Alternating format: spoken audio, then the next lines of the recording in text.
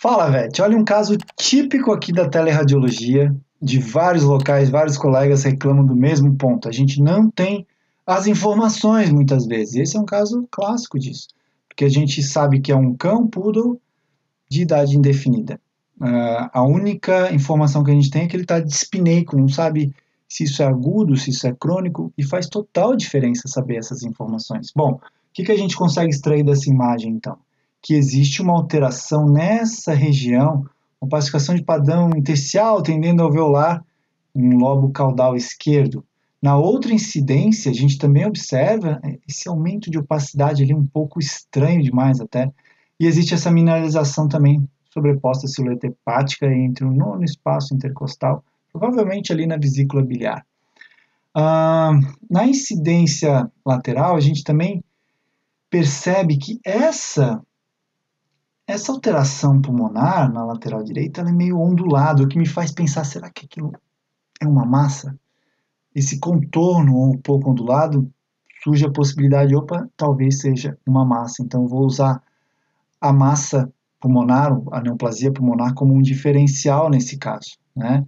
outros exames vão ser úteis para diferenciar. Às vezes até o ultrassom consegue ter uma janela ali para por meio do abdômen, né, mas no campo mais distante do fígado a gente talvez consiga enxergar também. Mas sem dúvida que a broncoscopia, a tomografia computadorizada podem trazer informações mais valiosas, né?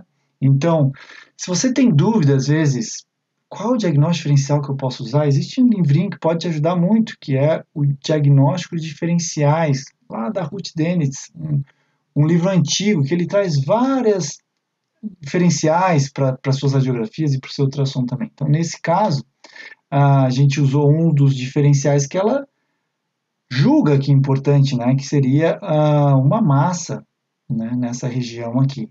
Então, fica a dica aí Tenha sempre um livro do seu lado para te ajudar tanto na anatomia como nos diagnósticos diferenciais. Eu adoro esse livro aqui, eu uso bastante ele na minha rotina, tá bom? Então, pessoal, resposta completa do caso está lá no Telegram para vocês. Uh, pneumonia e massa pulmonar seriam um diagnóstico diferencial. Eu acho que a massa pulmonar faz mais sentido, porque a pneumonia ela costuma ser mais crânio ventral, né? E não tanto ali naquela região mais caudal, dependendo, lógico, uh, da posição que esse paciente está. Se ele tiver em decúbito e aspirar, às vezes a gente não vai ter essa apresentação clássica da pneumonia, pode ir até para os lobos mais dorsais também, tá bom? Se você gostou desse conteúdo, compartilhe com seu colega e vai ser um prazer ouvir seu comentário, sugestão e como que está sendo os unicases para você aí. Me conta aí qual é a sacada que você tirou desse caso vai ser bem bacana é, ouvir o seu comentário, tá bom? Um abraço para você e até o próximo Unicase. Tamo junto!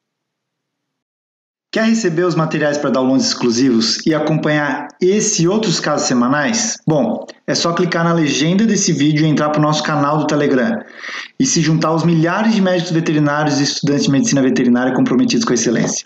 Te espero lá, tamo junto!